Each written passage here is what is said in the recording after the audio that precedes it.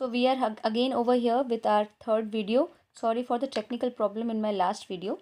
So we were talking about two different cell organelles that we are going to study together and which are very very important for the cell to survive. So if you remember there are two cell organelles which are not present in the prokaryotic cell but are only present in the eukaryotic cell. One of them is mitochondria also known as the powerhouse of the cell.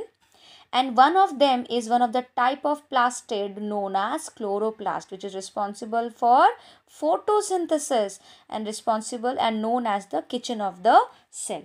So why we are learning them together? Because both these cell organelles are known to be semi autonomous organelles.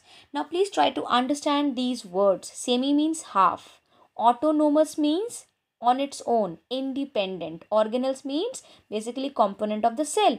So why they are known as semi autonomous organelles? It is so because these two organelles are the only organelles which have their own dna their own chromosome by which they can make some of their proteins because certain amount of protein making ribosomes are also present. So using that dna it can frame its own protein so Y is it basically living in side a cell it can survive on its own ये तो बिल्कुल एक prokaryotic cell जैसा ये तो अपने आप survive कर सकता है ना so let us understand how these semi-autonomous organelles over here, the mitochondria and the chloroplast, got inside a eukaryotic cell. So to explain them, we need to understand the endosymbiosis theory. Symbiosis मतलब जिसमें दो organisms are living in close physical association and are mutually getting benefited from each other endo का मतलब यहाँ पे है that the physical association is such that that one organelle या one organism is living inside the body of the other organism it is not only parasite अगर parasite होता तो सिर्फ़ एक को फ़ायदा होता। Now what happened is basically millions of years ago this was an this was a eukaryotic cell. And th these mitochondria and these chloroplasts were a kind of free living prokaryotic cell. Now if that prokaryotic was aerobic in nature that means in the presence of oxygen could produce energy then that means we are talking about the mitochondria.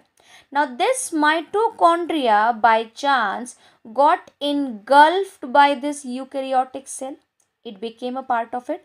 But when it became a part of it the cell realized that it could take this advantage of this newly found organelle or organism to get energy from it because इसके पास energy बनाने का तरीका था so why this organelle should live inside the body of the cell because in return this cell is also making many of the other proteins which this mitochondria could not make on its own. So there is a mutual relationship where both are getting benefited. So this aerobic pro prokaryote or the mitochondria became a part of the eukaryotic cell. Similar thing happened to a prokaryote which was photosynthetic in nature known as chloroplast. It also got engulfed and when it was taken it, it could be realized that although this is having their own dna still it needed the help of the cell to make all the other important proteins for its survival and in its return the chloroplast will exist as the kitchen of the cell because it has chlorophyll and manufacture the food for this cell to survive so in a way what happened the eukaryotic cell had both these semi autonomous uh, organelle present inside its body. So, in a way, this is explained by endosymbiosis theory. Now, let us understand these organelles one by one. This is a typical structure of a mitochondria where you can see it is double membraned. This is the outer membrane. Okay. And these membranous structure inside is the inner membrane of the mitochondria. Now, if I take this inner membrane and see a microscopic view of it, this will look some, something like this. Where you can see at each point there is a structure where we can see a small rod like structure and on the rod like structure there is a blob like structure, a circular uh, blob like structure is there. So this part, this complete part where you can see this finger-like projection is known as cristae. Okay, this is known as cristae. And this particle, this part, if enlarged to see its view, looks something like this. That means cristae के ऊपर जो membranes बने हुए हैं, वो कुछ इस तरीके से दिखेंगे। This circular structure is known to be F zero particle F not particle and the complete length is known as F one particle जिसे हमें एक बेस मिलेगा और एक पेडिसिल मिलेगा या स्टॉक मिलेगा।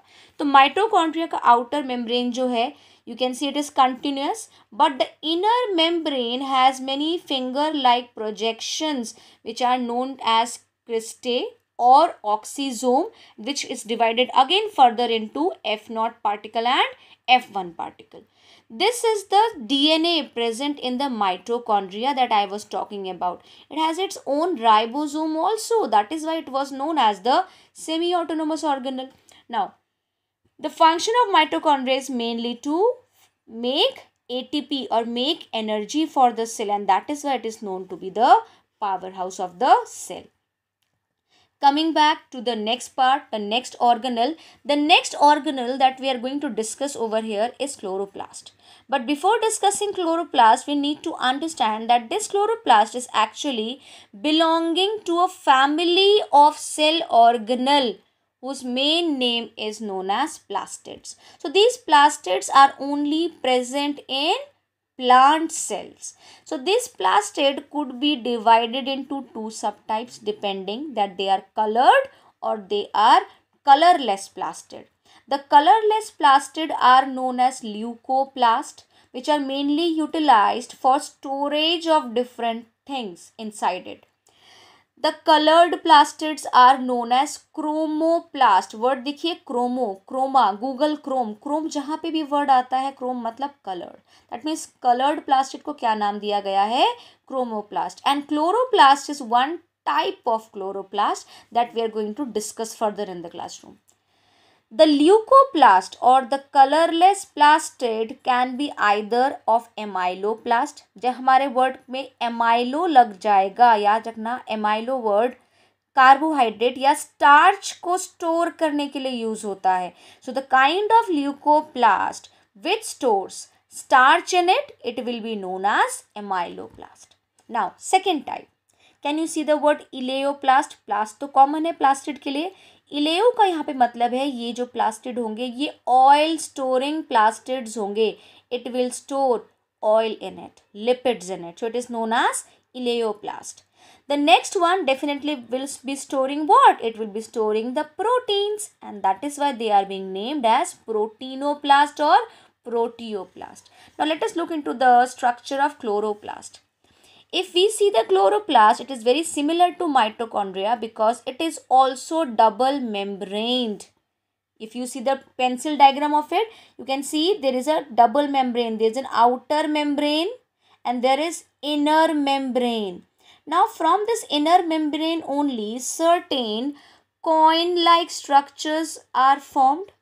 Each such coin here will be known as thylakoid. These are known as what?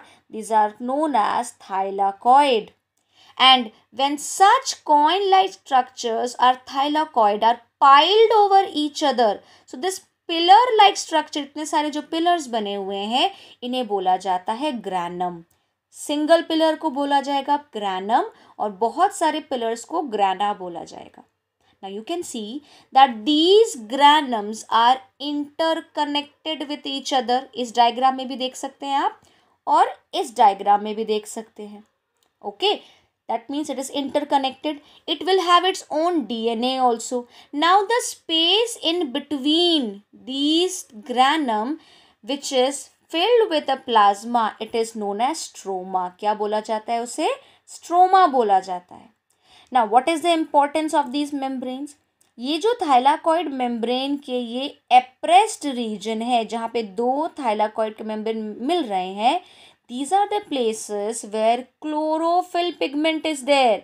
which is responsible for what for making for doing the process of photosynthesis तो अगर आप इस क्लोरोप्लास्ट को एक्चुअल में एक प्लांट के अंदर देखना चाहते हैं तो प्लांट सेल का ये स्ट्रक्चर है where is the huge vacuole covering a lot of the part of the plant and ये जो आपको स्ट्रक्चर्स दिख रहे हैं these are chloroplast chloroplast will not be present in animal cell. It will only and only be present in the plant cell.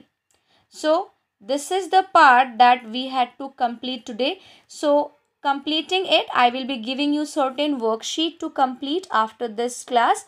Try to complete the topic and read the entire chapter from the ncert because we have completed all the important topics from the cell chapter.